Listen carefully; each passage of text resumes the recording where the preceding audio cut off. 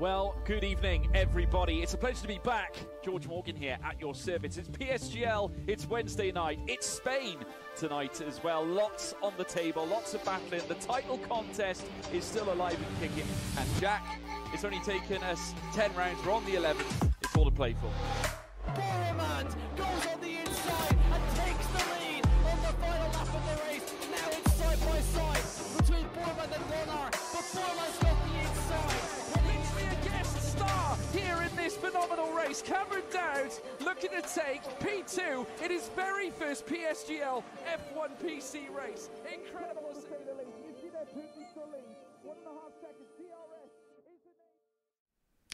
Hello, everybody, and welcome back to PSGL. It is time for another round of this amazing championship. It is round six. We're here at France, but before we get into qualifying and all of the action from France, let's rewind one week and take a look at what happened last time out when we went racing at Montreal. We're in five red lines, and they go up very quickly. And a good start from Felipe Sass on the inside. He might be able to pip Jonah Martins to the race lead straight away because he will be on the outside for turn one, but will be on the inside for turn two. And it's race lead to Felipe Sass, and later on. in the grid, we see Boris Zakosa dropping down a little bit, but no real contact happening at the race start. But our new race leader, Emil Lundell has gone off the road through the final corner. We were unable to catch that one, but the Alpine driver has dropped down. He is at the back of the field and has a five second gap to close back in. Disappointment for your pole sitter from Austria. He is going to have a lot of work to do if he wants to get near the front of the field once again. And that is going to be Zach Miles alongside Yona Martins. And we are going to get an easy pass for second position as through goes the McLaren of Zach Miles. As Nardi Perez picks up a three second time penalty for track limits, and Nardi Perez is out as well. We have a safety car. That was a crash. And he's going to make Jane Tripko go on the defensive. Down to the front. Jane Tripko is actually going to allow Alan Banaszak through there. So not choosing to fire that one. And the Mercedes driver lets through the Red Bull, who now sits in P4.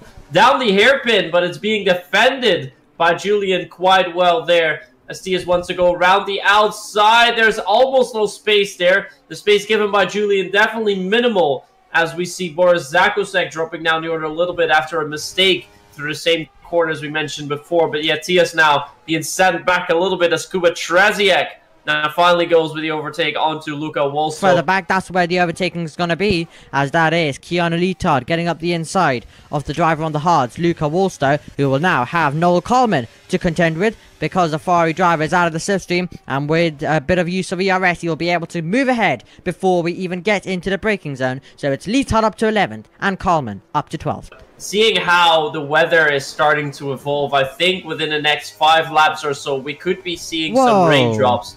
And if it happens that early enough, that might be good news for all the drivers that are currently on the mediums. As CS Horseman has gotten past Julian. Definitely is. And Julian, there, made the mistake. And that is why Tyus Korsman was able to get through into turn 8. Will he be able to stay ahead though? Because Julian's back out of the slipstream to the inside. And Tyus Korsman, who thought it was over, has now is now going to have to stare at the back of the Williams rear wing just for a little bit more. We'll try and go all the way around the outside. Keep an eye on Kuba Tresniak as well. This is right now the battle for 8th position in the race. And Tyus Korsman was trying to attack Julian, but he might get overtaken by Kuba. And they're both going to be pushing on down towards the chicane we'll go. They both have DRS as Kryzik gets ahead up ahead of Jane Tripkov. We are still battling for P8 and still it belongs to Julian and Kuba moves up to ninth but surely he's going to be attacking down towards turn number one and Julian's going to be under pressure. Kuba will go to the outside. Can he outbreak his rival into the first turn? How brave is he going to be all the way around the outside? Bit of contact and to the inside goes Keanu Litard as well trying to take advantage there. Calls one on the outside line, and Litard found a little gap to the inside. Wasn't able to do anything with it though. He is in 11. That will all go on as well, and I think I saw a drop There we go. It might be coming in There it the is. rain. And yes, here we go then. The rain is starting to fall. Here in Canada, we expected the rain to come at the end of this race. We were riding on board with the drivers on purpose to see when the rain is starting to come. Now, the drops are starting to fall. This race is about to get really exciting in the final few stages. And he is going to go with a move. Race lead now taken by Jonah Martins. It could Uh, go either way, but now we're about to get another change for the lead. Felipe Souza pulls out, gets very close to the wall on the outside there, but moves through into the pit lane, and Yona Martins almost gets through into the pit lane. But they're all diving it into the pit lane, but Alan Banaszak, who for two reasons, possibly wants to stick, stay out, but also didn't want to double stack with his teammate there. And it looks like the driver who's done best this season Whoa, still round as goes Noel Coleman almost losing the car. They're battling with Julian, so to cut across the mid there, but Noel Coleman almost spinning the car and losing out and dropping down the order. And the outside, is he going to get the car slowed down? Is there going to be contact between the two of them? That was so close. Noel Coleman has picked up a penalty. His teammate is battling with Felipe Souza. Right now, as we make our way onto the straight, DRS4, Yona Martins, it is absolutely hammering it down. As you can see from the camera, we've still got DRS though. And Yona Martins gets his way through. Can Zach as Kwasik gets past? Alan Banaszak, is he going to get the one slowed down? Yep, he will.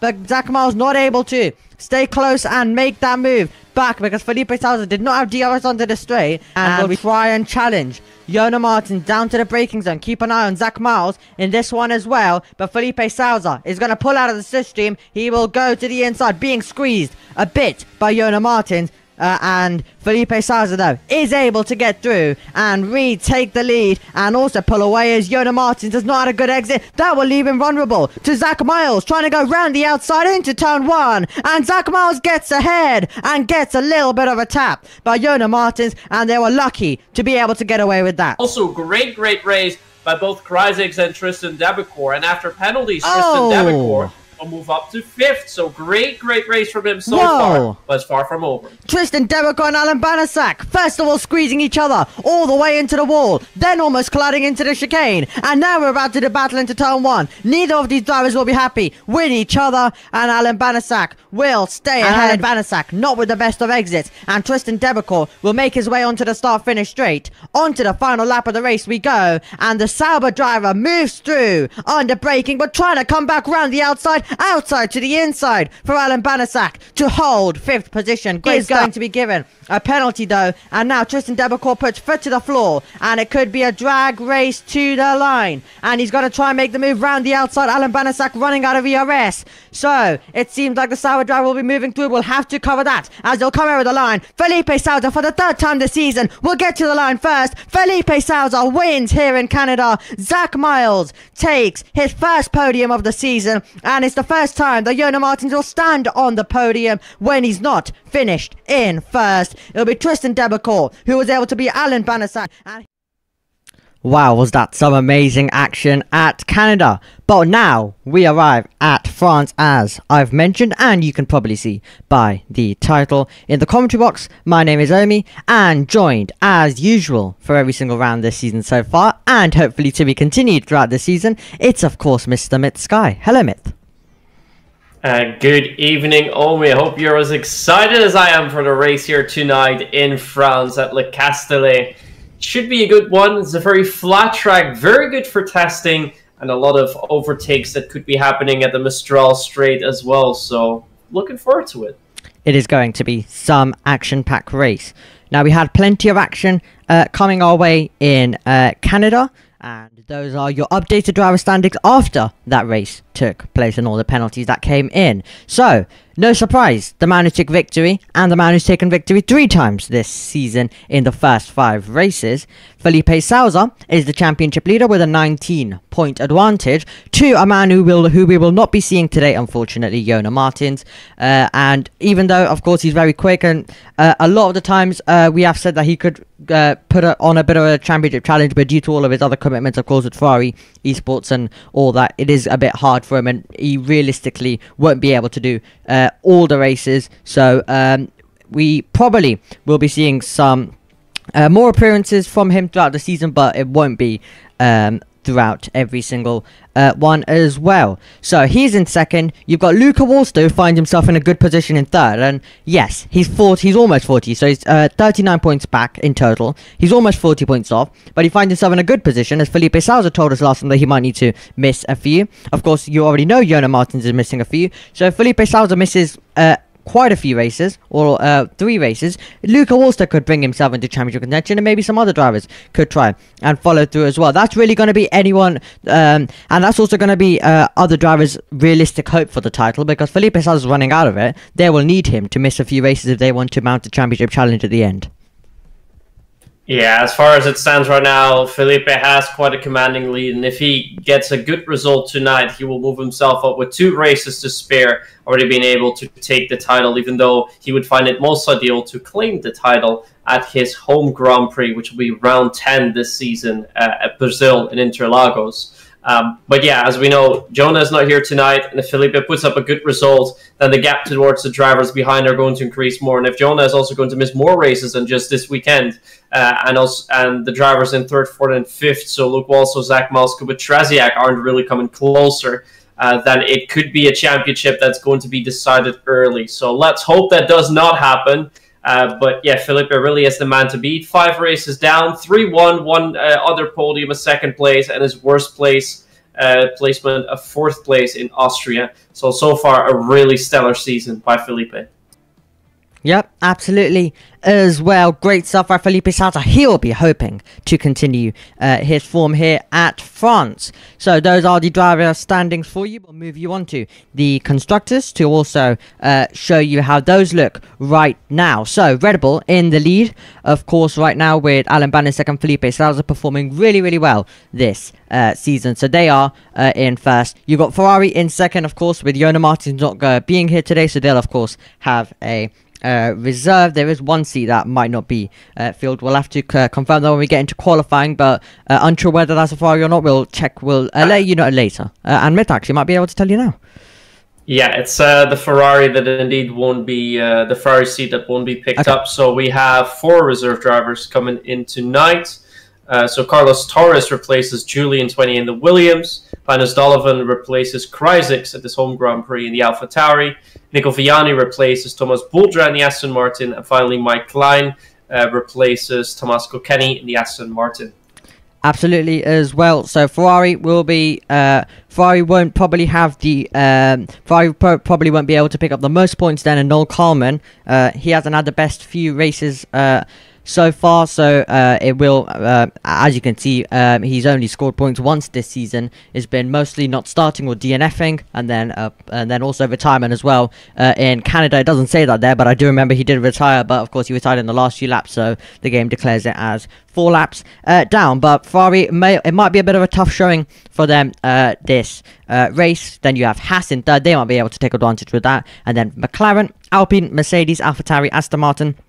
Alfa Romeo, and Williams as well. Now, that is all from before. We now move into the present and of what we have coming up. So, we are at round number six of the season today here at France. We'll go to Portugal next time out, Azerbaijan, the Netherlands, Brazil, and uh, we end the season in Austin, Texas. A lot of races coming up, and of course, it's going to be every single week. No break week, as you can see on the graphic in comparison to last season. So, uh, no break week. We're going to be going straight into all of it. We're about to get into qualifying. But before we get into that, but, before we get into qualifying, let's take a look at a hot lap as Mitz guides you around the uh, circuit that the drivers will be tackling today. We're here to take you through a lap on Paul Ricard Le Castellet, 15 corners, 5.8 kilometers here at this track in France. The first corner hard braking into fifth, take a bit of curb, stay away not too much from the curb on the exit, try to get more exit there through Est la Verrière before we break, just before 60 meter points. A little bit too late there, go back to third, switch up to fourth real quick before breaking into turn 5 and then through Virage de la make sure that you go through fifth here because otherwise you'll spin out a bit and then heading down the Mistral Straight the Ligne Droite du Mistral as we head down towards the chicane there. This used to be flat out, uh, but this time we are going to break. So as soon as you see the curve breakaway, break down, go for third, beep the speed up a little bit, go up into fourth. Not the best corner for me, still some tenths to gain, and you resume on the Mistral straight. Then we're on our way already to turns eight, uh, through turn 10, Courbe de Signes, flat out before we break down to fifth into the Double Droite de Baussin. Before again go into 4, taking a lot of curb on the entrance and then go out. Now, left-hander, Virage de Bendor, before we head out of the Courbe du Gard And with two corners remaining, we have Virage de la Tour, where we break a little bit early into fourth, go a little bit back even, and then the final corner through turn, take a lot Virage du Pont, and then down the main straight, also a second DRS zone. We complete a lap around Paul Ricard.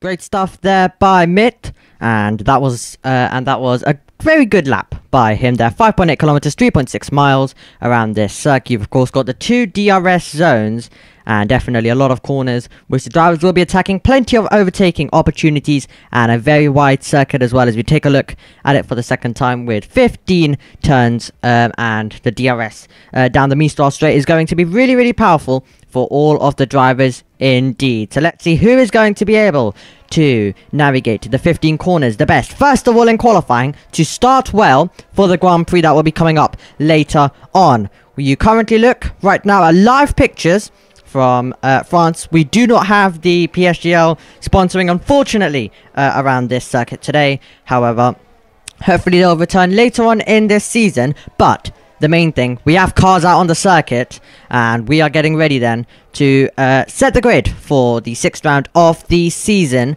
Uh, we currently have 16 minutes to go on the uh, clock. You unfortunately do not have the French driver Krajicek joining us here today. He was that was a race that he was really looking forward to, and I was looking forward to getting him on for an interview as well. So that's very unfortunate for him, but we'll definitely get him on for one. But this was one of the races that he was really looking forward to, but unfortunately he is not able to make it here today. Now, it is overcast in this session, Myth. You've got uh, everyone but two drivers going out onto the circuit. They are Emil Lundell and Adi Perez. Maybe some rain could be on the horizon. We've seen a lot of rain in this tier uh, throughout the season in races and qualifying. So let's see if it's going to make another appearance here today. Yeah, we've seen quite a few rain in the races already. I believe in like three of the five races we've seen it at least in either quali or in the race. And we see a lot of drivers come out early. 18 out of the 19 drivers already out. Boris Zakosek leading the charge, but he's usually the first one out. So he's now making his way uh, around uh, Virage de la Tour and into Virage du Pont, which is the final corner, turn 15. So he's about to start his hot lap. He's going to turn it down to Est de la Verrière, uh, uh, Verrerie, that's what it's called. I also have to uh, watch my French pronunciation there, but it's a very fast corner. And to be fair, for most of these drivers, the first two corners are where you can make or break your lap. It's one of the corners where it's not that difficult to pick up track limits. Uh, but it's also a corner where if you take it perfectly, you can gain a few extra tens. So let's see how Boris does uh, on his lap rounds uh, the 5.8 kilometer track of Paul Ricard Le Castellet. Let's see then how he gets on indeed as he makes his way onto the Mistral straight. Then DRS goes open as he tries to get a good banker lap on the board. Can be crucial because as you can see, as you can tell, it's very very wide, and you could see drivers trying to push the limits and going all in and possibly invalidating their lap later on. So it's good to have a good banker lap if that is the case later on as well. You expect the drivers to go faster, but you still need a good one. Maybe it can keep you uh, up a few positions. Now, a driver, Mitt, who really pushed to the limits last time out in qualifying was Yona. He kept it inside the track limits, crucially. And in the first sec and second sector he was down. It was all done in the third sector. And he was able to snatch pole position away from Felipe Souza. He's not here today, but that was an incredible effort to take pole position last time out.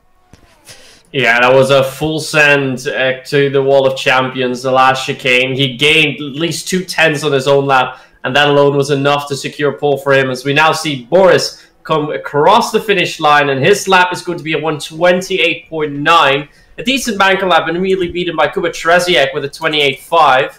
Uh, more drivers still out on track. Looks like Jane Tripkov is about a few tens quicker uh, than Boris was, as Daniel Gottschalk is a driver to beat the time. And now Zach Miles goes one quicker, but on 28.4. I'm currently at least watching what Jane is doing, but more drivers are now going to come across the line. Carlos Torres, Luca Wallstone, Noel Carmen setting laps. Stias Korsman with a fast lap time, 128.3. So we might be seeing some very lows 128s, and it just keeps getting beaten. I've seen pole change for six times now already. And the quickest driver out on track is Tristan Debecourt, who I believe is also driving his home uh, his home Grand Prix tonight. Yep, absolutely as well. That was great stuff by Tristan uh, Debecourt there. And um, he, of course, had a great showing last time. Before that, it wasn't really a good season uh, from him. He would have been hoping for much more. However, Tristan Debecourt, he was able to get P4 last time out in that brilliant battle you would have seen in the highlights uh, with Alan Banaszak all battling in the final few stages in the wet. That was great stuff. It was very close to contact between the two of them as well, though. And they were lucky to get away with that one. But Tristan Debecourt doing really well here at France. Another driver uh, who has uh, showed uh, a few. Uh, he's, sh- he's shown pace on a few occasions. That's Emil Lundell, of course, pole in Austria, um, and then of course had a decent race uh, there as well. Did Emil uh, Lundell has been able to get on the podium uh, once he finished P3.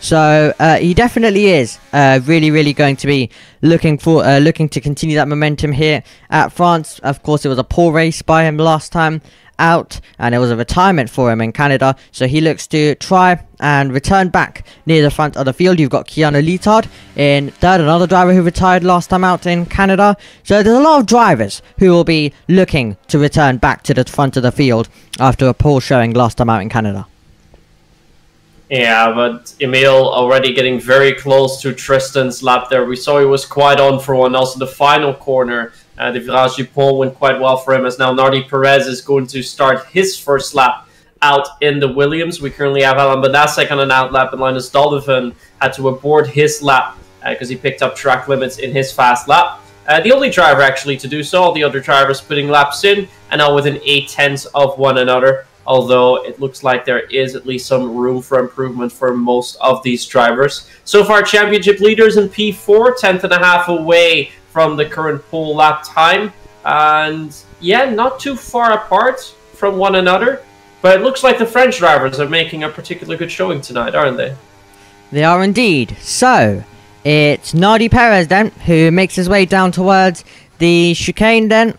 Uh, gets it slowed down back on the power for the Williams driver of Nardi uh, Perez, who uh, was able to uh, get a P8 earlier on this season. That's his best result, but he'll be hoping to get higher than that. Could this be the day that uh, that is the case as he now pushes on through the next few couple of corners. A lot of support coming in for Felipe Souza as per usual. T.S. Korsman, another driver that's liked by the uh, PSGL fan base here in F4 he is also right now uh, he's actually behind Felipe Souza. So those two together on the circuit, two rivals, of course, from F5 uh, last season, both battling it for the championship. But Felipe Souza not able to constantly be able to put in the practice, which is why he wasn't able to be up there and in the end win the championship. And he dropped down uh, in the penultimate race of the season. It wasn't a good race at Silverstone, which meant he couldn't contend with Zach Miles and Felipe and T.S. Korsman in the final round. This season, though, he's able to put in the preparation, and it's definitely showing as he's been able to, well, win three races. He's uh, scoring absolutely fantastically throughout this. Is uh, Felipe Souza. It, of course, was a second in Australia. It was first in Belgium. It was a first also in Monaco. And then it was fourth in Austria. And last time out in Canada, it was first once again. So this man is really putting on an amazing season. Now, that lap was slow for Nardi Perez. It was a 1 minute 32.169, so not a proper lap time on the board for him. Alan Banaszak, though, pushing on right now in the Red Bull as he's about to send it over the line. Another driver who performed uh, well and was actually battling the man who's currently at the top of the table, Tristan Debecourt, for that fourth position. And it's Alan Banaszak right now who moves up into P6. Yeah, very good final sector. His uh, second sector, at least until then, was right on par with Jane Tripko's time when we were spectating him earlier. But he's managed to gain over a tenth on him in the final sector. So great work by Alan uh, doing that. Uh, as for Nardi Perez, he did this lap without the use of ERS, so that is the reason why he was a little bit slower. But looks like he's just doing multiple laps uh, to try and get a little bit of a feel for the track before he's going to do an actual quali run. Uh, so that explains how that went. Uh, but I think for now we should go on board with Tias Korsman, who's just started his lap time, currently in P5, had a very good showing in his first lap. Uh, let's see if he can improve on it. Let's see if he can uh, contest Tristan Debecourt uh, for at least provisional pole position. So he's down in the first sector. Now, you're going to get a break from our voices for a second, and you're actually going to be able to hear from the man who is currently in your picture. And you're going to be able to hear from him about uh, how he's looking forward to this race, how he thinks that this race is going to go, and the next few races as well. Let's hear from Tyus Korsman. Uh, I'm looking to get good points today because um, my season so far hasn't been very great. After round one, it has, yeah, been atrocious. Um, so today we have an interesting strategy, and I hope I can make it work out. I just need to qualify well today, and if you do that, I think I can get big points. Hopefully, um, I just need to find a way to get back on track and get a good uh, latter half of the season going. Great to hear from Tyus Korsman, and as you would have seen, it wasn't the best of lap, which is why he is diving it in to the pit lane. A few scruffy moments on that lap time, uh, on the lap, I should say, and that meant that he is not going to get the lap time on the board. They're all still pushing on through the uh, last sector now. We're watching the man who currently sits in P3, Keanu Litard.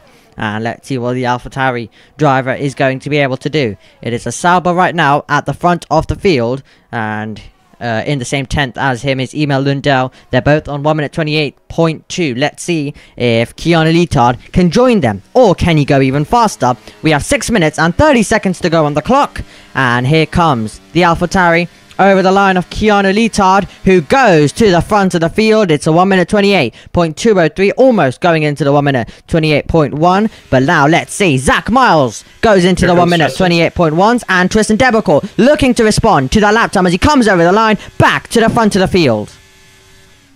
Yeah, just watching Tristan improve on his lap time. Had about uh, 300, so he was quicker in the first sector. Gained half a tenth in the second sector, and that was round about equal in the final sector. So we're now going for 128 ones. I'm not sure if the drivers can go too much quicker than this. We saw Felipe Souza uh, invalidating, Tias Korsman not going quicker. Uh, Emil Lundell was also a tenth and a half down, so he aborted. Daniel Gottschalk actually improved greatly there on his lap, currently in P5. So good job by him and it looks like two drivers currently out for their second lap as we have a little over five minutes left on the clock.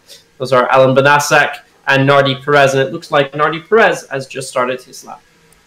Yep, absolutely. As well, then, so Nardi Perez beginning a lap out of sync with everyone else. We saw him earlier on on the circuit when the when everyone else was uh, in the pit lane and coming onto out laps. He's out of sync, uh, but he needs this lap to work for him. Mike Klin will also be hoping to move up into the 1 minute 28s. He has uh, got um, exactly a tenth to uh, find. Uh, has Mike Klin um, and uh, to get ahead or to uh, equal the time of um, Boris Zakosak, I should say. Nardi Perez then continues to make his way through as he tries to get a good lap time on the board. Right now, his teammate Carlos Carlos Torres, a reserve driver as well, uh, is looking now to try and make his way near his teammate then. Let's see how this uh, final sector then is going to go for Nardi Perez as he tries to get the lap time on the board. Alan Banaszak already on an outlap, so he's getting ready for his final run. Yeah, judging by the sector times, Nardi Perez should be gunning for a time close to Noel Carmen, so he could be beating him and go to P16 unless he does something amazing in the final sector and even pip Carlos Torres to P15. He now comes around Virage du Pont. He's now making his way down the main straight. And he's going to come across the line in a D at 128.6. So he does pip Carlos Torres to P15, only just. But it's good enough to put him at least a little bit closer. Still half a second away from pole position, but a very good lap considering that he had some improvements to do. And this was his first real lap out there on track. Now we can then quickly switch over to Alan Banaszak. He was a tenth and a half slower in the first sector, but has he improved in sector two? And it looks like he has. So by a tenth, he has improved. He's now half a tenth quicker. So with that improvement, he would be going for around about a P5. if you can do a little bit more, perhaps even get beyond that. So pretty good lap that Alan is on currently. But I think most of our drivers will be exiting the pits in a moment, as I already see a few drivers moving. I believe I also see a uh, Mercedes moving there. So I think the drivers are just about to get ready for their final run, and I don't think Alan will have time to do so, but he jumps into the pits. He knows he can go quicker, so he sets himself up for a third and final run by now coming into the pits. He does indeed then. So Alan Banaszak is into the pit lane, still in sync with everyone else, and everyone else is heading onto the circuit as you can see right now in the um, onto the uh, circuit right now. So it'll be Tristan Debecourt, who will actually be one of the first drivers to push on, and the French driver hoping to be on pole at the French Grand Prix. Bit of a disappointment that Crisis couldn't be here, but Tristan Debecourt is definitely going to uh, try and still perform high uh, here at the French um, Festival qualifying, and then we'll be going into the Grand Prix later on. But this is definitely great stuff by Tristan Debecourt. And of course, it's a circuit that, as you can already see, that he is very, very good at. So it'll be interesting to see how he gets on in this final run. Yeah, and for now, the driver leading the pack for the final run is James Tripkov. Currently finds himself in P12 with a 128.503. Uh, not too far away from the man just ahead, so hopefully for him that he can still set a top 10 qualifying result. And not too far away, we also find Tristan Debecourt currently holds pole position by 25 thousandths of a second in comparison to Zach Miles. And one of the latest drivers to exit the pits uh, is Felipe Souza, who currently is in P6, but is our championship leader. So at the end, we'll be watching him. But looks like a Ferrari driver has jumped to the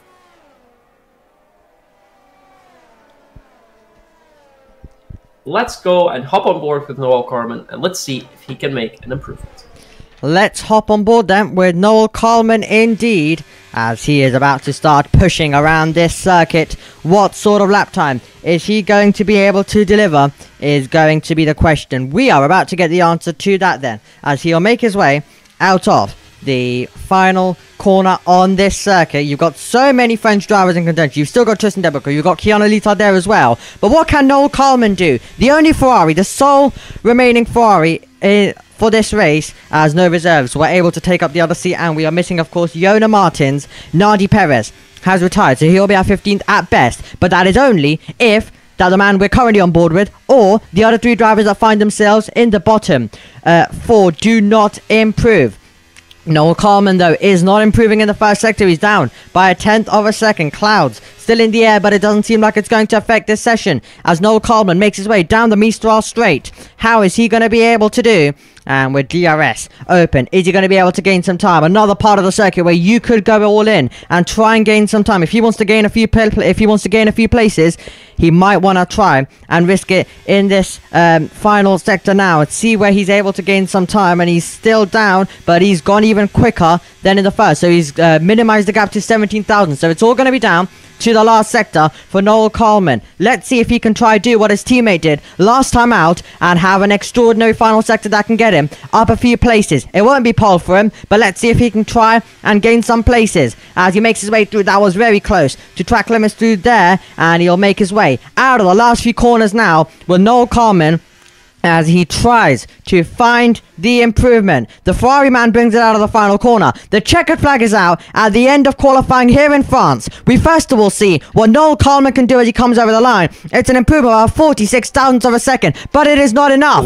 Tristan Debecourt has invalidated, and Emil Lundell. Keep an eye on him. So, Zach Miles has invalidated, as you rightly mentioned. We'll also focus on Keanu Litard and see whether he can try and take pole position away. At the moment, it's a French driver on pole. Can we get another French driver who maybe tries to take it away or even make it a French front row? Here comes Keanu Litard over the line in the AlphaTauri. Can Keanu Litard steal pole away? He can. Keanu Litard to the front of the field. Incredible stuff. Can Emil Lundell spoil the French party right now? At the front of the field. Emil Lundell over the line, and Emil Lundell has taken pole, and he's gone into the 1 minute 27. That is a great lap by him, but we still are seeing more drivers improving. What about Felipe Souza? Can he get himself onto pole? No, he's missed out. He's into second, but Emil Lundell, pole in Austria, pole in France, and he has spoiled the uh, French party at the front of the field. It will be a French second row. Keanu Litard and Tristan Debecourt third and fourth. But a great lap time by Emil Lundell, who was able to beat Felipe Souza. What an amazing last lap by Emil Lundell, almost improving by three tenths there. And Felipe Souza did the exact same thing there, and that is why we find these two drivers on the front row. And as you rightly mentioned, a second row filled by only French drivers, Canolito, Tristan Debecourt, with both their best qualifying sessions of the season so far. Then a third row is all British drivers, Zach Miles, Luca Walso, and fourth row is all Polish drivers with Kuba Trzeciak, Alan. Now, that's something you don't see very often. Then P9, Jane Tripkov and Daniel Gottschalk as they finish off the top 10. And then after that, we find Tias Korsman, Boris Akosek, Sparky, Nico Viani, Donovan, Mike Lane, Nardi Perez, Carlos Torres, and in P19, our only Ferrari driver, the sole Ferrari driver for tonight, well, Carmen. Indeed. Now we're gonna go for a quick little break. When we return, we will be bringing you the action from France.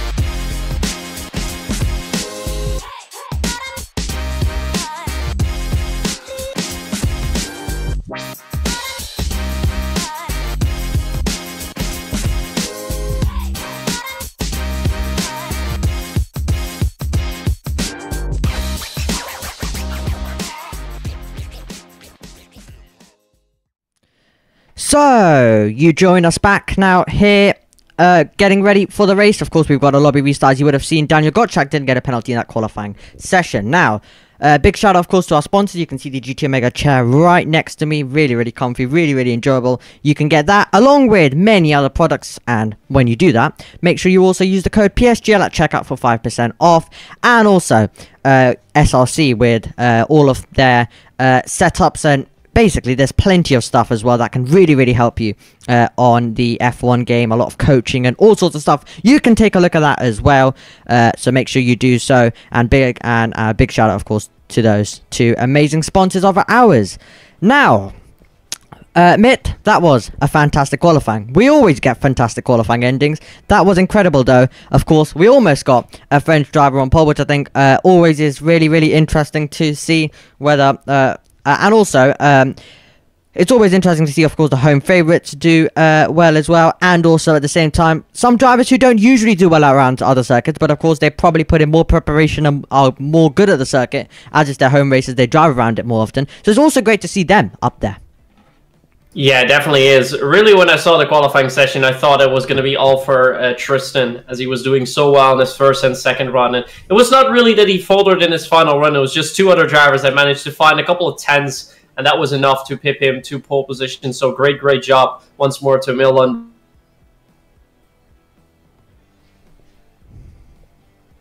Driver, so Keanu Luto, and uh, of course driver we just mentioned, uh, not Boris Zakosek, who's also driving his home Grand Prix, but of course Tristan Debecourt in the Sauber. Now we're just waiting uh, for everyone to uh, ready up. Uh, we had a lobby restart, as mentioned previously, and then we're going to see the race. We did see sunny weather, so we should see uh, the same uh, weather for the race. Now we're going to see 27 laps here tonight, so we'll probably have racing for a good 35 to 40 minutes. And yeah, safety cars could happen. It's a track though with a lot of runoff, so you'd have to do something fairly crazy uh, to get a safety car. Um, but we've seen a few years ago that if you've been in, in a wall at the end of uh, the double droite de Beausset, so turn 11 after senior, uh, that you can uh, pick up a safety car if you do uh, put that Ferrari in the wall there. Yep, absolutely.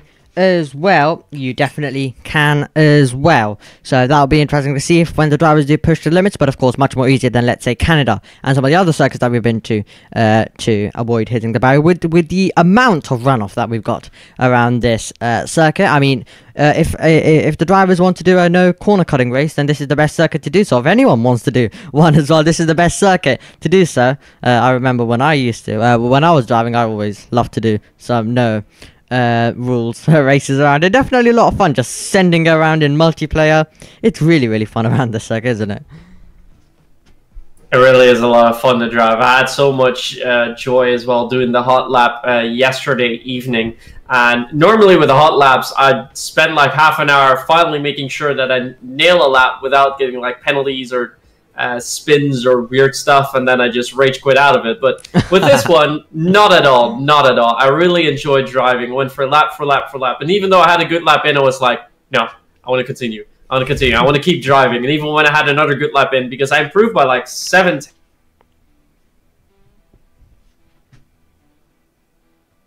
Oh. I, Seems like a little bit of Discord lag taking place. for a lot of uh, you youngsters out there, also uh, a good uh, track to uh, try and practice. It definitely is as well. And the great thing is, as you told me, of course, that when you finish all of the hot lap, you usually you would usually be like, "Oh, okay, right, finally that's done. I'm out of here." But no, absolutely not. You continue driving around. It's like that's how much fun you were having. Yeah, it's not something that I'll see a lot. Perhaps I'll have the same for Azerbaijan, even though most of the drivers don't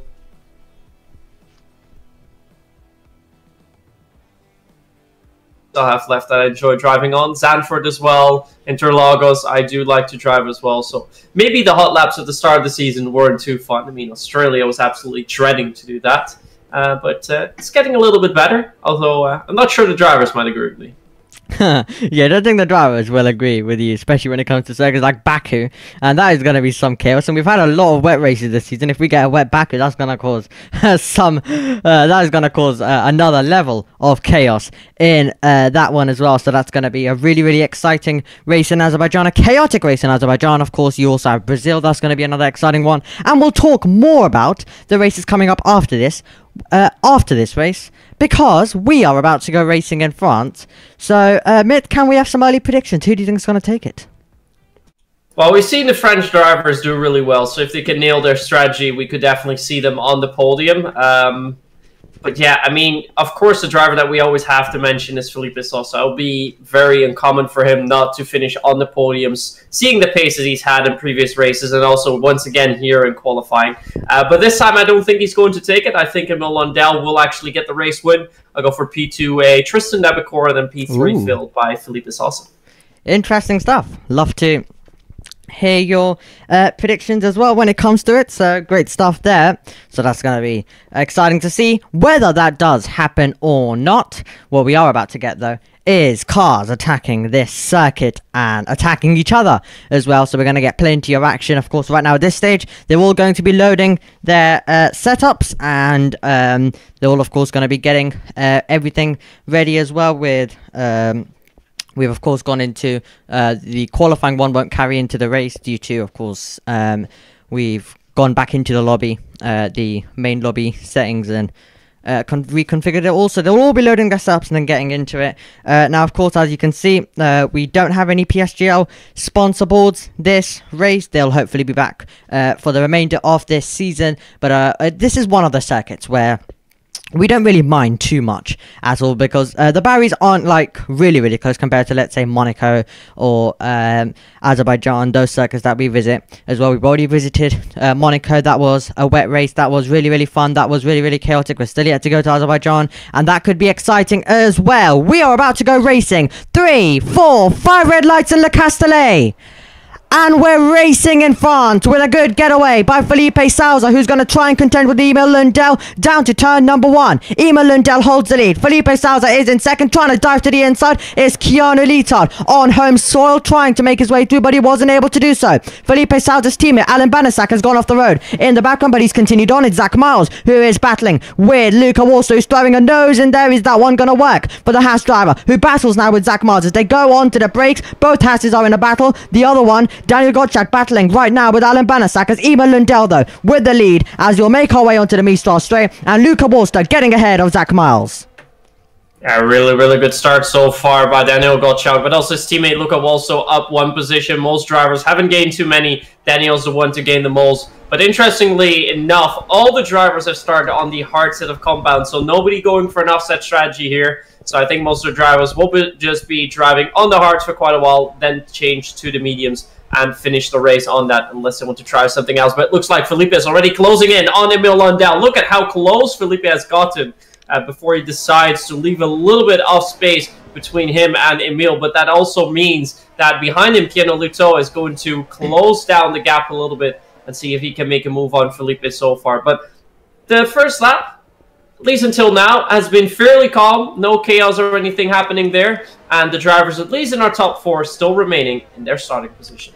They are indeed, and look how close they all are together. It's only Noel Coleman who's had a few issues. He's diving into the pit lane, so that might explain to us why he's going to retire out of the race. So a disappointing opening lap, possibly picking up some damage, and that is it for him there. But look at everyone else, all nose to tail to nose to tail right now. You cannot see a gap right now. I've not spotted one that's bigger than four tenths. That is going to change in a few seconds though, as they'll make their way through the corners. But they're all remaining so close together. This is incredible. They're all in a line, and uh, I think this is the closest one. We've had drivers in DRS trains all the way from first down to 20th, but we're usually getting drivers on the 8 tenths, 9 tenths mark. Everyone is uh, under 5 tenths off a second. Luca Wallster though, just uh, over right now but they're all so close together. But the one who's getting really close is Felipe Souza because Emil Lundell has got no car ahead of him to get any sort of slipstream by. So it's going to be Felipe Souza going on the attack, even though everyone's really close together. They're all sitting behind right now and already starting to get uh, starting to get in a rhythm in this race.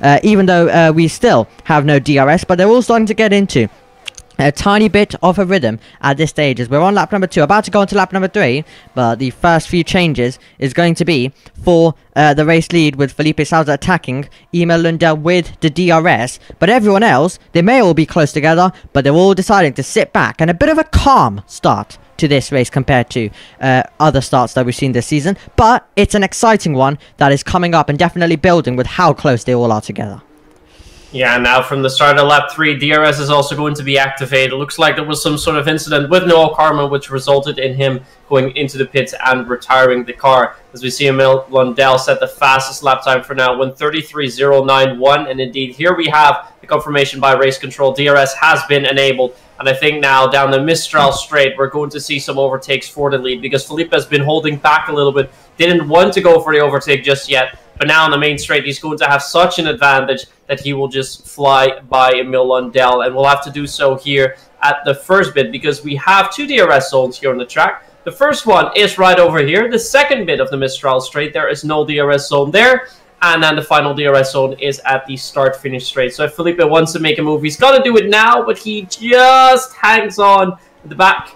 He will be much, much closer than he was the last lap. And now with the slipstream, could be going for a move here just before Signes or just after Signes. But see how much Felipe is already closing in. But he's not going full throttle anymore. He's leaving the throttle a little bit, so he does not want to go for an overtake. Just wants to hang within the DRS zone and try and save his tires just a little bit.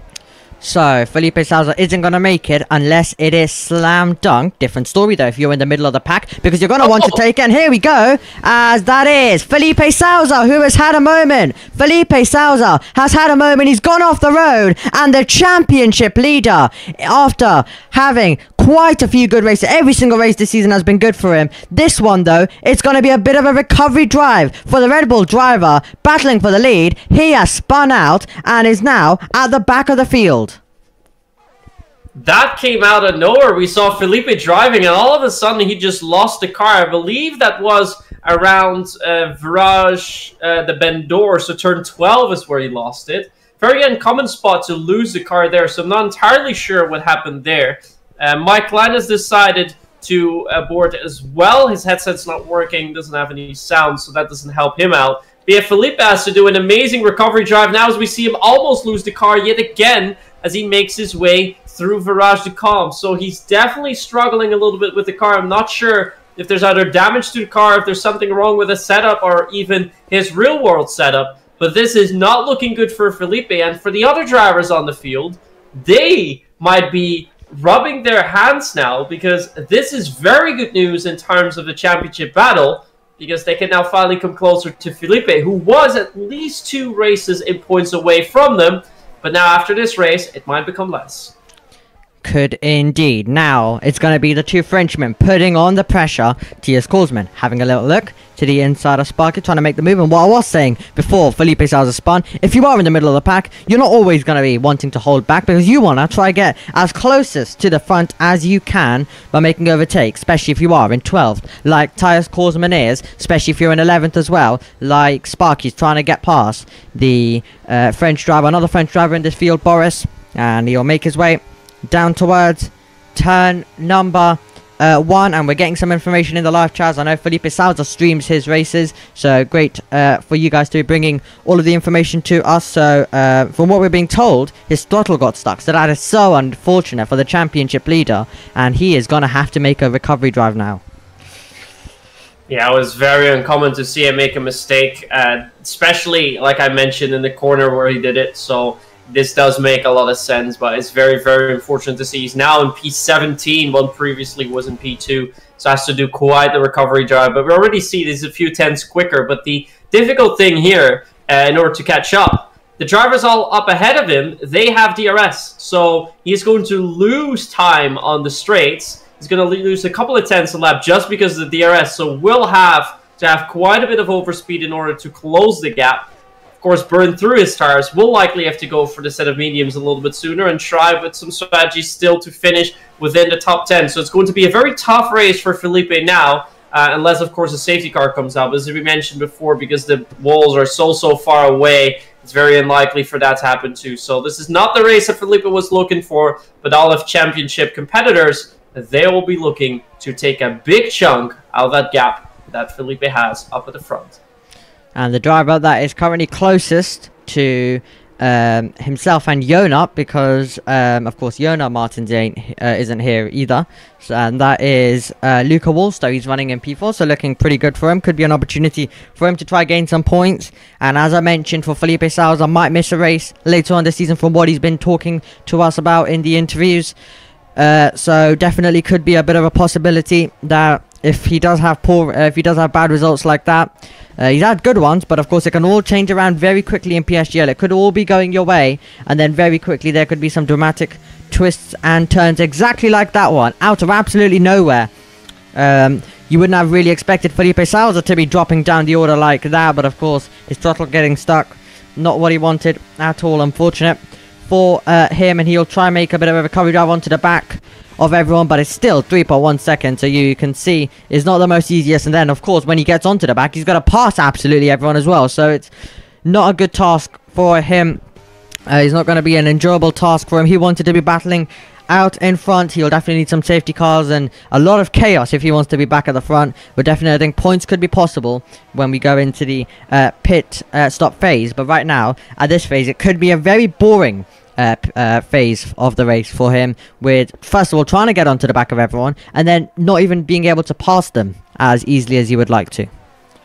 Yeah, so far this lap he's lost a few tens, but that is purely because of the DRS zone. He's going to lose four to five tens a lap because of it, so that means he needs to have that bit of overspeed in comparison to Carlos Torres. But as long as Carlos stays within DRS range, be very, very tough for Felipe to get closer. It was about 3.1 seconds at the start finish straight. It's now up to 3.5, almost 3.6 even. So this is not looking good for Felipe. Although for Felipe, I think he'll be waiting and make sure that he nails the strategy, stops a lap earlier, maybe even two laps earlier, so he closes in. As we see Tias Korsman, Nico Viani fighting for P12. Tias Korsman now gaining a position back uh, onto Nico.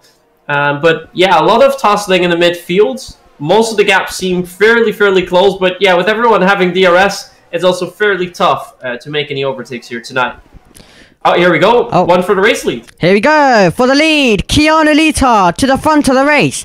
Trying to make the move is Daniel Gottschalk, trying to go all the way around the outside of Kuba, and he will make the move momentarily. Better traction though for the Alpine driver of Kuba, who tries to come back as we will climb all the way up the hill slightly. Is he gonna keep his footing all the way round the outside? Brave stuff by Kuba, and he's still trying to keep his footing. They're wheel to wheel as we make our way through, trying to get his elbows out. Is the hands of Daniel Gottschalk, and he will show the curb to Kuba. He'll try come over to the inside. Kuba gets there first though, and he'll try gain the position. Shows the same treatment to Daniel Gottschalk that he got a few corners ago by showing him the curb. Kuba moves up to sixth. Very, very close fight between the two. I really thought that Daniel had the move complete, but Kuba wasn't going anywhere, and indeed showed Daniel that he is not letting go of P6 that easily. So well done by Kuba to defend and to hold of uh, uh, Daniel for the time being, as we have a little bit of a lag, and that is causing some changes in the pack. It looks like Canolito is still ahead of Emil Lundell, though. So not entirely sure what exactly Yeah, changed. so- What we do see is that at the back, Felipe is starting to lose over half a second a lap. He is indeed. So I think most of the lag issues from what we're seeing from the position changes is mostly at the back, where we're seeing about three drivers getting past uh, one in uh, a few seconds, and all the changes are happening basically from uh, around 10th downwards. That's I think where we're getting it. We are getting another change of lead. Emil Lundell back to the front of the race, and he gets past Keanu Leetard, who drops back down to second position. It's Tristan Debecourt in third. All drivers on the hard compound tyres, all of them on the same strategy, and Felipe Souza not able to make the inroads on all of the other drivers that he would have wanted, that he would have liked to, and he has dropped down. Uh, more time, 4.5 seconds right now. So disappointment for Felipe Souza, who uh, will need to wait till the pit stops. And as I mentioned, it'll be a bit of a boring phase for him. Luca Wallstow, though, is getting very close to the back of Tristan Debecourt. Zach is getting even closer to the back of Luca Wallstow as well. So, in some interesting battles now starting to form. And if you are close to your rival, then you could use a bit of ERS and try and make the move. And you can see they're all so close together as we make our way onto the start finish straight then on lap number 9 of this one. Emil Lundell is uh, two tenths ahead of Keanu Leetard. Right now, Carlos Torres has uh, dropped outside the one second of the cars ahead, so that might mean that Felipe Souza could be gaining a tiny bit uh, on him soon, so that'll be interesting to see as they all continue to push on right now in this uh, race. Jane Tripkov currently running in ninth. You have Boris in uh, tenth, and Tyus Coulson and Sparky were battling earlier on. They uh, have uh, they're now sticking behind each other, eleventh and twelfth for them onto the straight. We go then once again, and let's see. Are we going to be getting a move? Tristan looking a bit close to Leetard. What about Kuba to try and make a move? On Zach Miles. He decides to sit behind there, but it's Emil Lundell, Keanu Lita, Tristan Debecourt, Luca Wolster, Zach Miles, the top five, and we're gonna get most of the overtaking when the drivers start pitting. I think we're right now just in a waiting phase, so make sure you stick with us, make sure you like and subscribe for more action in PSGL, uh, like the one that you are getting right now. But we're mostly right now just waiting for that pit stop phase, and when we get into it, that is when the race is gonna explode, like it has done every single race this season, and really like it does in every single PSGL season. Yeah, it really will. But for now, we're looking because with the Hearts are going to do more than half of the race distance. So I think starting lap 14, 15, we'll see some drivers come in. I think the ideal stopping time will be around lap 16, maybe even 17.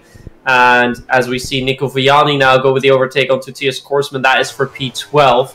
Uh, we saw Carlos Torres make a mistake at the end of the final lap uh, earlier on, the final corner, and the last lap. That is why he momentarily fell out of the DRS zone, but gained that back in the S de la Verrerie, which is turns one and two, and that allowed him to close in within the DRS range and make it more difficult for Felipe to catch up with him once more. In the meantime, though, Daniel Gottschalk is moving awfully close, but a slight mistake there by Zach Miles. So we should keep our eyes peeled onto Kuba Trzeciak because this might be an overtake for P5. It could be indeed. On to the Mistral straight we go. Possible move coming for Alan Banaszak trying to get past Daniel Gottschalk. That will be. It seems like he won't be able to make the move. Kuba is going to have a go though. He was aggressive when fighting Daniel Gottschalk. How aggressive is he going to be? How brave is he going to be? He'll get to the apex first. He'll turn the outside to the inside to fifth position in the race right now. What can Zach Miles do to respond? He'll use a bit of ERS. He'll try come back on the inside. Both of them running wheel to wheel. Nothing between them as they fly their way through right now inside for Zach Miles. Surely Kuba's going to be shown the curb once more. He's going to back out. He knows that he doesn't want to be at that part of the circuit. Zach Miles continuing to defend. Kuba continuing to attack. Great, great battle once more between the two. We see that the drivers really don't want to give up on track position there. So as we see another little bit of a lag there, as now Zach Miles has to avoid uh, up ahead. And with that little bit of an issue, he's immediately under pressure uh, by Kuba once more. But yeah, Kuba having a pretty good race so far, trying to make his way up a little bit more, although Daniel is the one with the most positions gained so far. That is three positions for him. Um, but yeah, the battle definitely heating up behind the P5, behind the McLaren of Zach Miles and Kuba Daniel Gottschalk waiting anxiously to try and go for a move there. We're still in lap 11, so still a little bit of time to go, but look how close Daniel Gottschalk is getting to Kuba Trzeciak.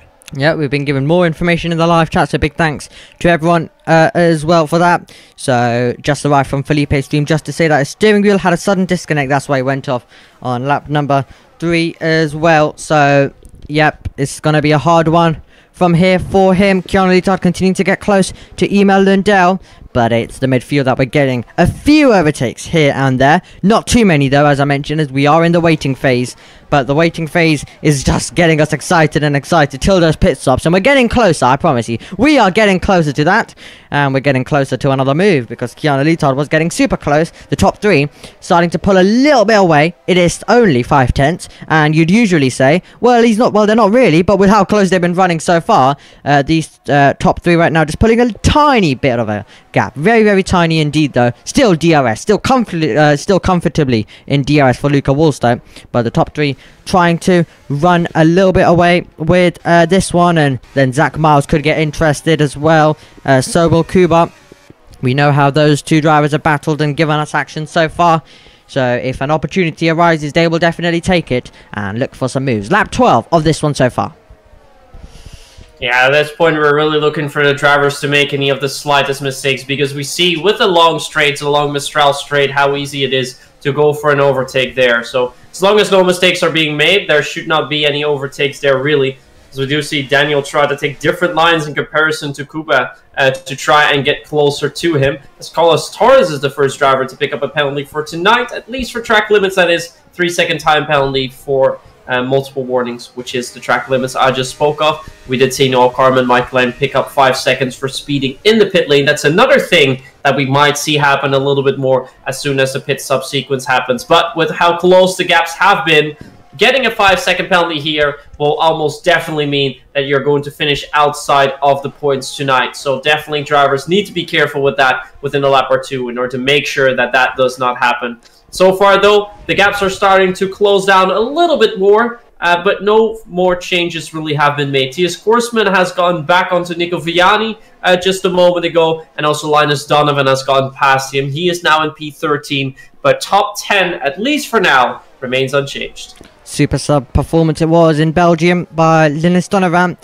Didn't have the same fortune though last time out in Canada. He is back here racing and uh, not able to challenge at the front like in Belgium. So let's hope there's uh, more circuits that we go that he uh, drives and that he's good at as well. So able to see him fighting back at the front. And we have Felipe Souza. So, the championship leader has dived into the pit lane. So, the championship leader, Felipe Souza, is into the pit lane. And he knows that it wasn't working for him. He wasn't gaining any time. There is no point just leaving himself out there, continuing to lose time. He's going to try. Pit early. Get a bit of an undercut. Get himself into the battle. And then from there, he'll try and make some overtakes. And try and make a comeback to score some points in the French Grand Prix.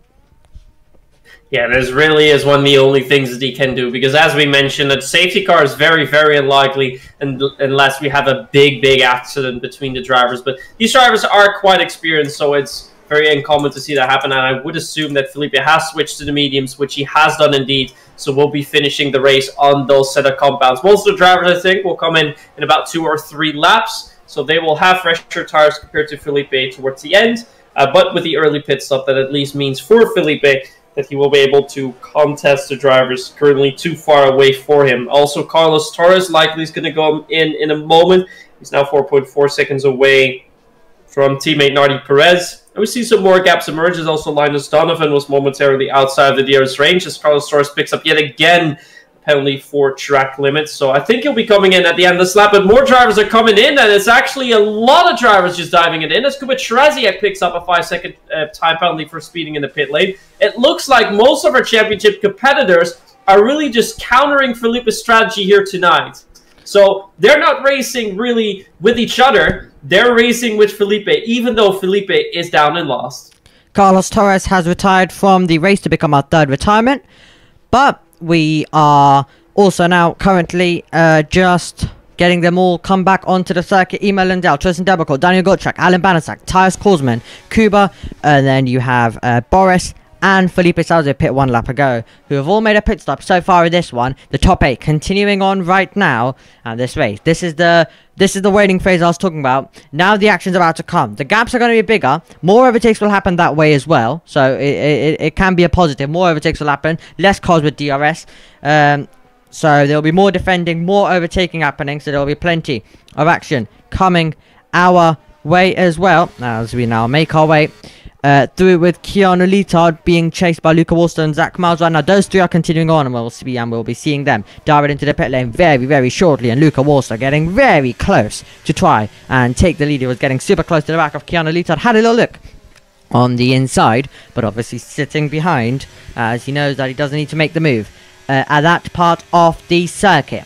Now, into the pit lane comes Litard, into the pit lane comes Wallstow, and Zach Miles also, all following in, as they'll all bunch up a tiny bit, as we go into the very tight pit lane it is, Nico uh, Viani as well diving in. Is Sparky the driver who has continued on, so he'll go to the front of the race. But into the pit lane, we see them all come, and this is going to be exciting to see then. How are they going to come out in comparison? Alan Banaszak picking up a three second time penalty, and we mentioned with how close the gaps are going to be at the end, that that could really, really cost you as we watch. Keanu Lita then make his way to the pit lane exit. Through goes Emil Lundell. Let's see now where they all will filter out. There's the Haas of Daniel Gottschalk, who is ahead of Litard. Then you have Alan Banaszak, who is going to be ahead of Luca Wallstow, who rejoins ahead of Korsman. And then you have Zach Miles, Jane Tripkov, and then Kuba Trzeciak and Boris, and then Nico Vianu coming out in 15th position. And he is going to have uh, Felipe Souza chasing him behind. So Felipe Souza's first car to overtake is going to be Nico Viani as he tries to recover in this race. Yeah, and the most notable thing that has happened so far in the pit stop sequence is the gap between Tristan Debecourt and Daniel Gottschalk. They stopped at the same moment a lap earlier, but look at that. Keanu Little already going for the overtake onto uh, Daniel, but he needs to. He needs to close that gap quickly to Tristan Debecourt, otherwise a top classification, at least on the first or second step, is going to be out of the question for him because he now has a 2.2 second gap uh, ahead of him and no DRS to battle with. So that is going to be a tough, tough battle for him. And if Emil Lundell and Tristan Debecourt decide to work together, just leapfrog each other with the DRS, not hold each other up, not hold in, and it's going to be very, very tough for the guys in the back to try and catch that pack. So that is another fight that we should be keeping an eye on. Uh, but I think down the start-finish straight, we might see an overtake by Felipe Souza onto Nico Vian. We could get that coming our way indeed then. So, uh, we have a pit stop coming in by Sparky, which will promote the uh, top two, the net race leaders, into third position right now. So everyone who's pit um, is, of course, uh, has already made a pit stop right now. Everyone on the mediums has, of course, already made a pit stop. And the two drivers on the hard, Dylan Donovan and Nardi Perez, continuing on and going a tiny bit longer in this one. Felipe Souza still not able to find a way through, so he'll probably be looking for it on the Mistral straight as well. So many other drivers in this field, and we're about to go there with Tristan Debecourt. Let's see if the Sauber driver is going to try and move his way through. It'll actually be Nardi Perez as these two continue to push on. Not made a pit stop so far, but they continue to push on indeed. And here we go with Tristan Debecourt out of the slipstream and the French driver to the inside to the lead of the race for the Sauber man who moves up to third. But when everyone else pits ahead, when the top two pit, that will be the net race lead for him as Keanu Litard still ahead of Daniel Gottschalk. And they're all in a train as Zach Miles tries to get on the back of Tyus Korsman. These two championship rivals from F5 about to risk it. That is brave stuff by Zach Miles, who threw a nose in there, hoping that his rival would give him room. He just about gave enough room, and Zach Miles finds a way to move up to P9.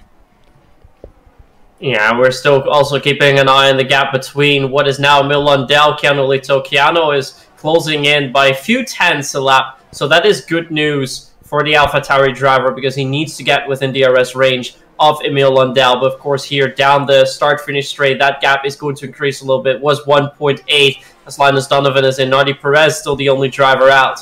Lundell getting dangerously close once again to Tristan Debecourt. And yeah, that gap that was 1.8 has been actually cut back down to 1.8, even though it was a little bit more. So this so far is good news for Keanu if he can keep it up. As Nico Viani picks up a three-second time penalty for track limits. But if uh, Keanu can keep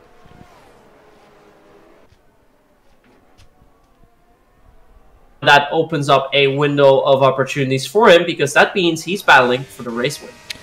Talking about the race win, talking about the race lead, that is another pass. Pass and repass again. Emil Lundell takes the lead once more then, and there is Keanu Lito, Daniel Gottschalk, all in a train right now. And we look further back to Felipe Souza and Nico Viani, who still isn't able to make a move through. So this is going, uh, this is currently a horrid race for Felipe Souza, not what he wanted at all and that moment uh, we, and that moment which we thought we would see him making up a lot of places to try recover. It's not happening unfortunately as Sparky is making a move on Boris and he went to the inside so the McLaren driver manages to get his way through. Into the pit lane comes Nardi Perez. So the two drivers in your picture right now at the moment are about to have the lead on the circuit as well. This will be the battle till the end, unless we get any safety cars, unless we get any changes, with possibly Keanu Litard, if he can push on, maybe dragging a few more drivers along for the party of who is going to win the sixth round of the season here in PSGL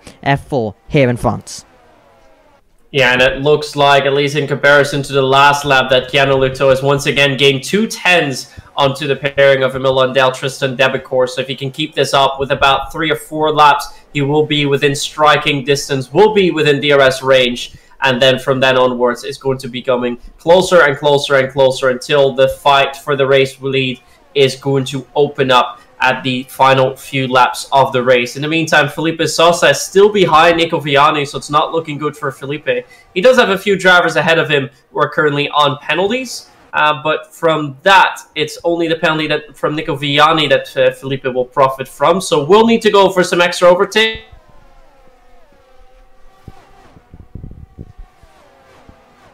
After his He will indeed. And uh, more Discord. functions can happen as well, or disconnects indeed. Um, but in this case, that would mean the difference between, a, well, potentially a solid uh, podium finish uh, and now no points for him. It does make the championship more interesting, but for Felipe, of course, this is not what you want whatsoever.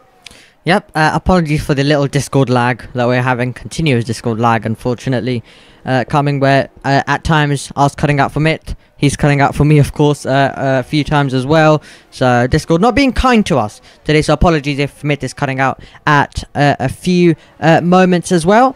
But uh, luckily it is bearable and we're able to just about continue here then at France. Lap number 19 out of 27. We are about to make our way into the final few stages. It's a sprint from now till the end unless we get an interruption like a safety car. Which is pretty low around this circuit as it's, as it's, as it's much more harder for the drivers to find a, bar find a barrier, which it is possible, but a less, a less harder compared to some of the other races. So they need to most likely have a bit of a crash on the circuit for um, a safety car to come out then, and that is Luca Wallstow, who manages to get past Alan Banaszak. Is he going to come back on the inside? Nope. He's going to tuck back in and sit in the wheel tracks. Keanu Litard. We mentioned about him closing the gap. It's 1.3 seconds, and he is bringing uh, more cars with him. That is going to be brave stuff by Luca Wallstow. Honest teammate. And he throws one to the inside and Daniel Gottschalk chooses not to fight that one too much.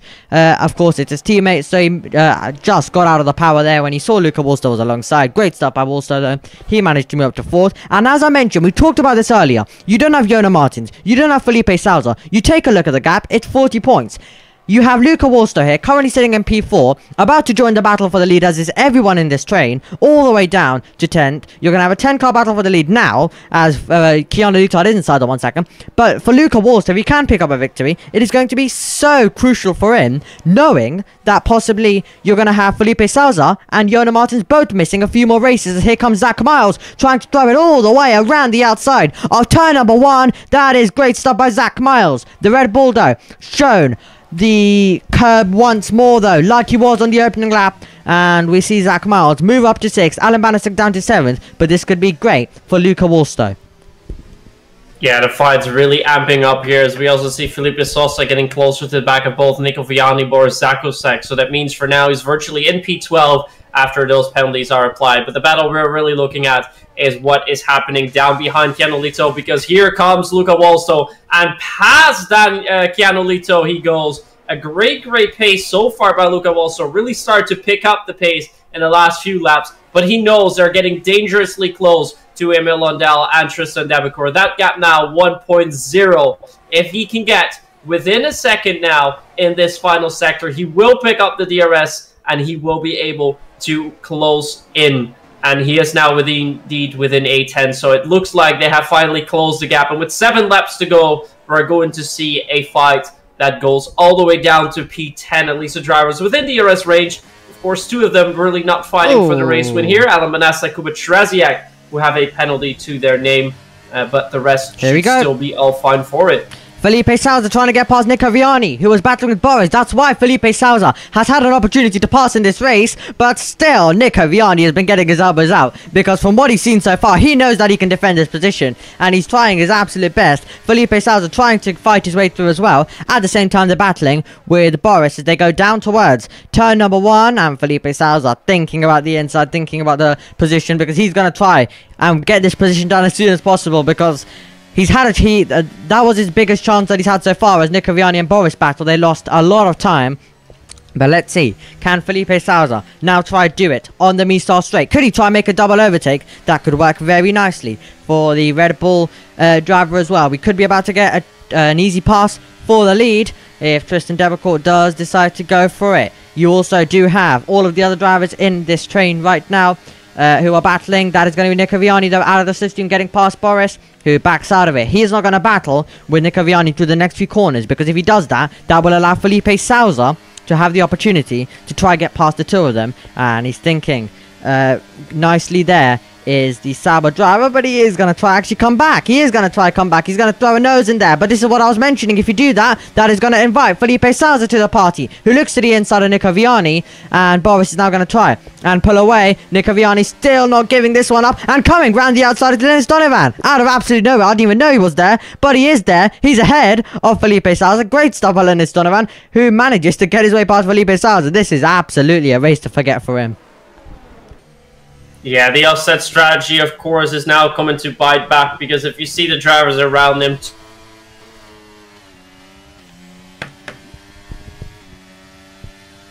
still to pick up any points here tonight, but up at the front of the field, the fight has opened a little bit more. Emil Lundell still leading with five laps to go, but the gap behind him, four tenths, and it's four tenths to Luca Wallstow, two and a half tenths to Canolito, half a second to Daniel Gottschalk, and once again, four tenths to Zach Miles. So top six really being in contention for the race win still, although Emil Lundell is starting and at least trying to pull a little bit of a gap. If you look at the ERS levels for Emil Lundell, it's 77%. Uh, Tristan Debecourt has a little bit more, 89%. Luca Walsh, of course, used a little bit to get closer, 44% for him, 65 for Kenny Luto. Daniel Gottschalk also in 46, and finally uh, Zach Miles, the lowest of them all with 38%. So it looks like Tristan at least has the upper hand when it comes to ERS, but I think Emil has enough at least deployment for a full lap.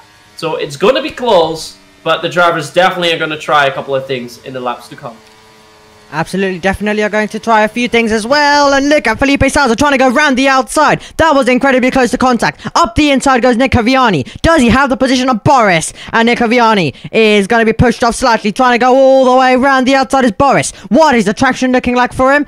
He's on the power. He's alongside. Is he gonna be ahead? He is gonna be ahead. He's past Nico Viani. was very early on the brakes, and that kind of caught Linus Donovan uh, off guard. Felipe Souza looks for his move. Nardi Perez is in there as well. And while we wait for the battling up front, we're about to get some ba- we're getting some battling here as Nico Viani once again manages to find a way through on Boris. And Felipe Souza still not able to make a move right now. And it's Nardi Perez who will be uh, looking to attack. And Felipe Souza with better traction could try to take this position. Linus Donovan out of shape going defensive. And Felipe Souza is there trying to make this move. And we'll make our way onto the Mistral Straight and an opportunity possibly coming up for Felipe Souza, but maybe even Nardi Perez because Nardi Perez looks even closer and we're making our way down the straight. We might need to cut to the leaders because look how close they are. Seems like they're not going to make any position changes on this lap, so we'll be okay with that one. But these drivers still all battling. Can Felipe Souza make a move?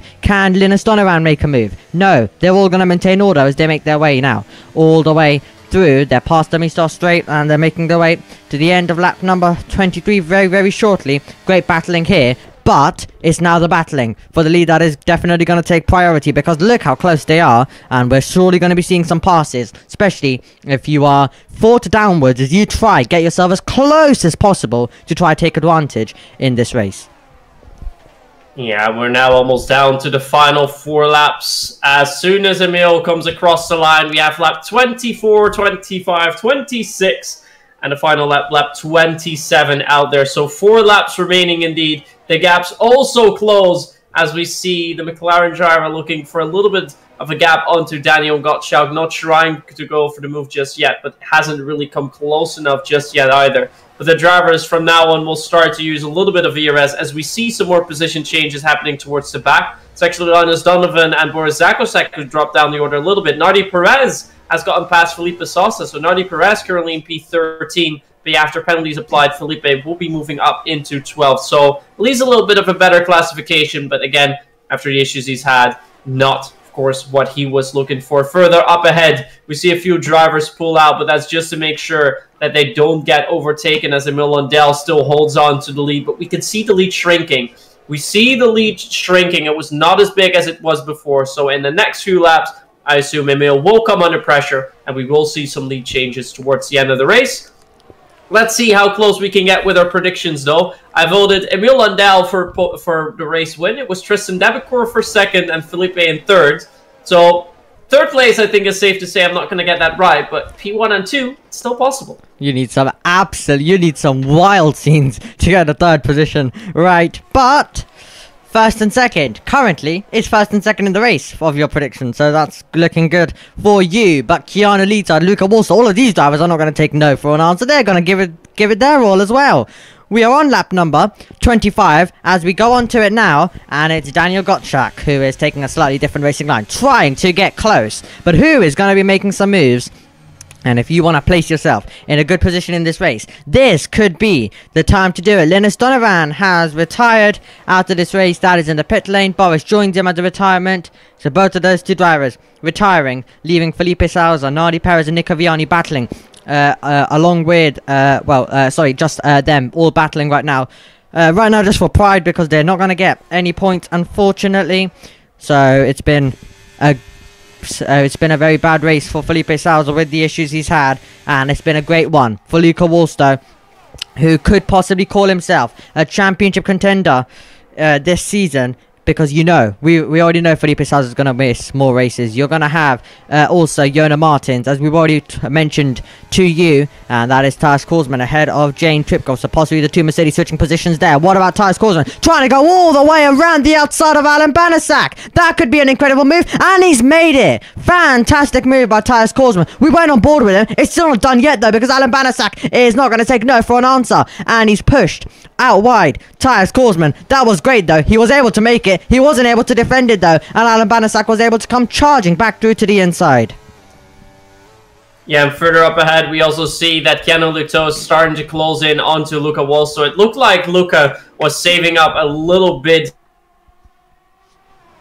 uh, of time. It looked like he was quicker than Tristan up ahead in the field, but now the gloves are going to come off. The final two laps are going to start, so the drivers will start to use a little bit of ERS now. They will try and move themselves in to the ideal position for the final lap, and we can see that Tristan Debecourt is trying to keep it closer and closer to Emil Lundell. Is he going to try and go for an overtake now on the Mistral straight? I think it will be very likely that he's going to attempt to do so. Let's see if we can go on board with the French driver as they're now going to make their way onto the Mistral Straight. The Ligne Droite du Mistral, as the French call it so beautifully, as we see that Tristan is indeed getting closer. Is he going to go for the overtake, though? No, he decides against it.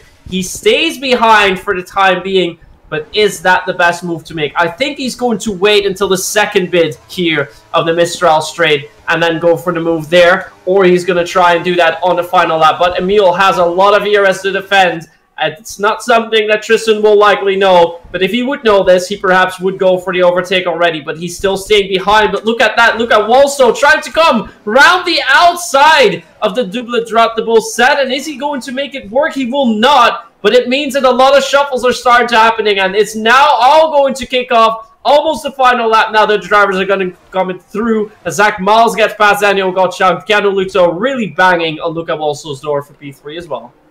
Incredible battling. We are about to go on to the final tour. That was an opportunity for Luca Wallstow because he wants to be in a good position going on to the final lap of this race. But it could be Tristan Debecourt's day as we make our way down towards turn number one. And don't count out Emil Lundell because still, maybe he might be able to defend this. But with the but with how much ERS, they've both got plenty of ERS, but with the DRS as well, crucially for Tristan Debecourt, he is going to have some great speed on this final lap. Tristan Debecourt then will make his way through then a crucial exit now and will make his way onto the Mistral Straight. Let's see how this final lap is going to go then. The driver who has had the best finish of P4 uh, last time out in Canada. Can he try to take the victory away? He's four tenths away. He's not close enough, but is he going to make a late send on the brakes to the inside? That is late stop by Tristan Debecourt. Emil Lundell saw that one coming. He holds on to the position, but now it's going to be a run all the way down towards the next corner. And look at this. Email Emil Going defensive. Tristan Debecourt trying to sweep around the outside. How brave is Tristan Debecourt feeling to go all the way around the outside in his home race? He's run out of ERS. He's still keeping his foot in. Wide will go Tristan Debecourt in hope of getting better traction, but he can't get there. He can't get there. And Emil Lundell seems like he's going to hold on on the final lap of this one. Luca Wallster is getting very close as well. Tristan Debecourt tried to do the up and under, tried to get the switchback. Emil Lundell parked it on the apex, gave him no opportunity to try and do that and Emil Lundell will make his way through the final corner and is going to take his first victory of the season. Emil Lundell wins here in France after holding off Tristan Debecourt all the way till the end and it's going to be Luca Wallstow who's going to take third, Keanu Lita takes fourth and Daniel Gottschalk finishes in P5. Emil Lundell is on top here in France and a lot of points gained for Luca Wallstow a lot of points for Luca also, but also for Emil Lundell, who now finds his way back into the championship fight. But a great, great battle into the Mistral chicane. It looked like Emil didn't get the best sort of exit there, breaking a little bit too late in order to stay ahead of Tristan, but managed to keep it tight. And through Signes they went, through the Double Droite du Beausset they went. But round there, turn 11, it was clear that Emil was not going to give up on this race victory. Great, great race by the man who started on pole, the Swedish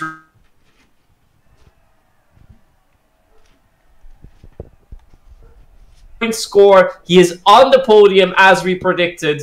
And look at Walso from sixth on the grid, goes to third as well. Another great race for Daniel Gottschalk. Started in P10 now, makes his way across the finish line in P5. And also Keanu Luto with a pretty good result. So we're going to see some more drivers jumping up in the championship fight, as Felipe Souza cannot do better, unfortunately, than at P12 here tonight. But the gap actually not all that big, considering everything that he had to endure tonight.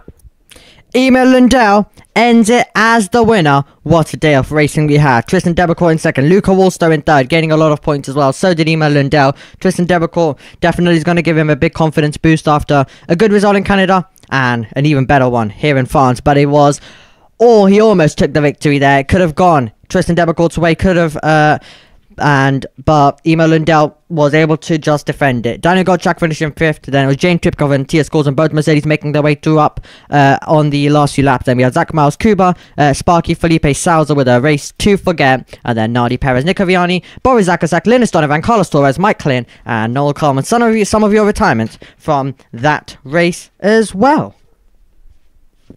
And if we actually look at the points, Emil Lundell, uh, for now, was 11 in the standings with one third place and a 10th place that's given him points. So now, if he keeps that win, which will likely be the case, I didn't really see any incidents there, we'll move him up 27 points, but that would still be behind Luca Walso. So the man only really joined the championship fight after today is going to be Luke Wallstall. He's going to pick up 10 points, which pushes him onto 40, but that's still 29 points down from Felipe Souza. So Felipe Souza will keep a lead of, of 19 points onto Jona Martins, but doesn't gain anything where perhaps he was looking to gain quite a few extra points. Although, in hindsight, this could be that this means that Felipe uh, will be looking to at least attempt to try and secure the championship in his home race, round 10 Brazil, as we mentioned before the race. So perhaps he won't be too sad uh, in a few days or in a few weeks to come, but for now, definitely won't be too happy about it. Also, good result by Zach Mouse, picks up some more points, is starting to move in closer, will stay fourth in the championship standings.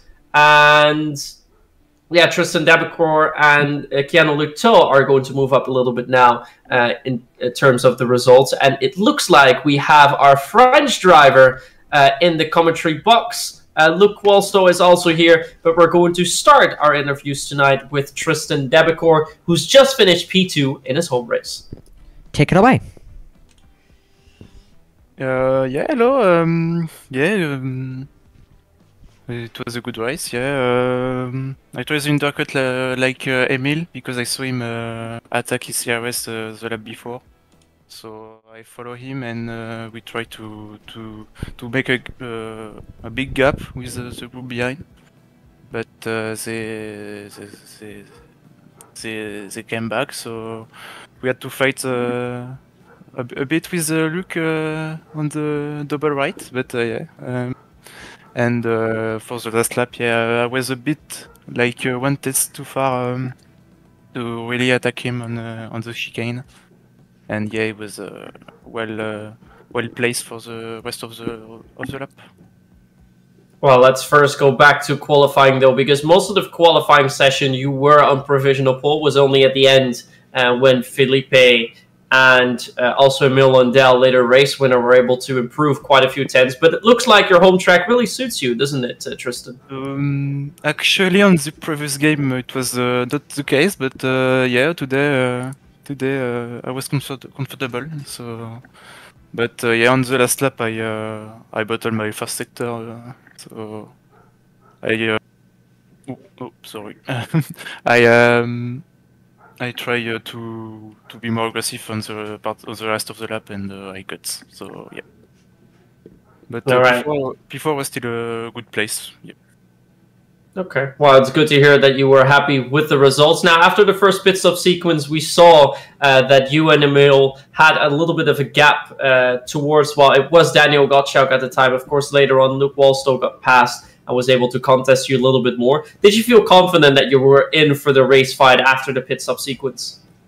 Oh yes, of course, yes. Uh, I mean, um, here in the top five can win easily uh, if uh, they are they are on the DRS train. So yeah, even with one more uh, lap uh, hold uh, medium, it's we everybody can fight here. So yeah. All right, and it's starting to look like you're getting into the flow. The first three races, you were unable to pick up any points, sadly. Then in Austria, you were in 10th place, picked up one point. Last race out, you just missed out on the podium with a P4 in Canada, and now a P2 for you. So the first podium of the season so far. Are you happy with how the season is developing so far? Mm, yes, yes, because in Australia, I should have mm, um, scored points but uh, we tried something on, with the inters and uh, it didn't uh, work. Uh, Belgium was not there, and uh, Monaco, my game froze on the last lap, and I was six, and uh, I finished 14th because of that. But yeah, the fourth, the four last race was were really good. Yeah. All right, and now, well, we're pretty much halfway done uh, with the season. We've had six tracks done. There's still five tracks remaining. After this, we still go to Portimao in Portugal. We go to Azerbaijan. We go to the Netherlands, Zandvoort. We go to Brazil, and finally, COTA, the Circuit of the Americas. Out of those five tracks, which one are you looking forward to the most? Um, I would say Brazil and Portugal, and uh, maybe maybe Zandvoort as well. But uh, Baku and COTA, uh, Berk. But really don't like uh, them. Okay, fair enough. Well, any final notes that you want to say, perhaps to the viewers back at home? Um, uh, GG to, to Lilian for FP his podium as well uh, in F2. And, uh, yeah. I saw that he was also in the waiting room, so yeah, congratulations to you as well. That is great to hear. Well, thank you very much for joining us in the commentary box. And then we will now uh, move on to the man who finished in P3 tonight. Uh, and it's no stranger to us. He's been in the commentary box with us before, so it's nice to see him join us once again. It's Luke Walstow. Hello, guys. So, that was quite the race, wasn't it, Luke? Yeah, it was quite the race. Um, I definitely played it a little bit risky with the the overcut, hoping that I would, um, you know, claw my way back through the pack, which I did. It obviously comes with the cost of burning more ERS than I intended, and it possibly cost me um, a fight for the win. So, you reckon that the strategy going one lap later than all the other drivers uh, meant that you were out of contention for the race win? Yeah, I just had to push through the pack too much, I think, and and and burn too much um too much battery. And by the time I had got to uh, where I needed to be, I was um probably about forty percent deficit to to the cars ahead, which doesn't make it hard. Uh, doesn't make it easy, especially when there are cars behind trying to get track position for the end as well. So yeah, but uh, it was clean race. We still went up, you know, from from quali, and you know, it could have gone far worse. And yeah, we'll learn from the pit stop and, and we'll move from that. Yeah, you definitely got really, really close uh, to P2 there, battling uh, with Tristan on the final lap. How was that battle? Yeah, no, I realized I had to go for it. Um, if I if I, it would have been the now or never, and I just thought I've got slightly fresher tires. I thought if I was going to go for it, it needed to be now, and it didn't quite work. But um, but yeah, I mean, it was clean, and uh, that's all I can really hope for. And and yeah, it didn't cost me anything positions to go back anyway. So yeah, I was I was alright with it to be honest. Well, that's good to hear as well. And yeah, if we look at the standings, you were, of course, already in P3 in the standings. Uh, if the results stay as is, of course, they're still provisional. But if they stay as is, you'll move up from 30 points, 10 extra to 40 points. That will move you within 29 points of the championship leader, Felipe Souza. But we, of course, know that uh, the two drivers ahead of you, Jonah, of course, missed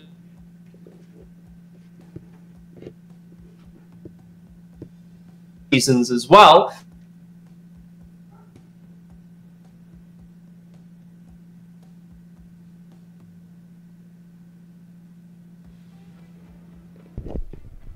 Bit of lag coming from Discord momentarily. Looks like it. Were you able to catch my question? Should I repeat it? You should repeat it. You cut out. Yep. All right, that's no problem. So what we've seen uh, after tonight, if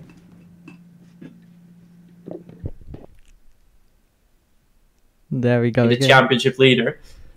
Um, but yeah, we know that uh, Felipe and Jonah, the two drivers ahead of you in the standings, are going to miss a few races, which could mean that you are going to join the championship fight in the next couple of races. Have you thought about that so far?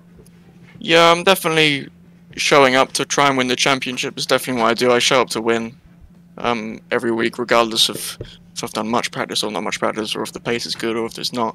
I look to do well in every session and push forward and try and win regardless. Because um, yeah, I know if I put the effort in, I'm I'm up front at the top nearly every week. So yeah, it's definitely something I'm thinking about, and I'm definitely um, pushing forward for it.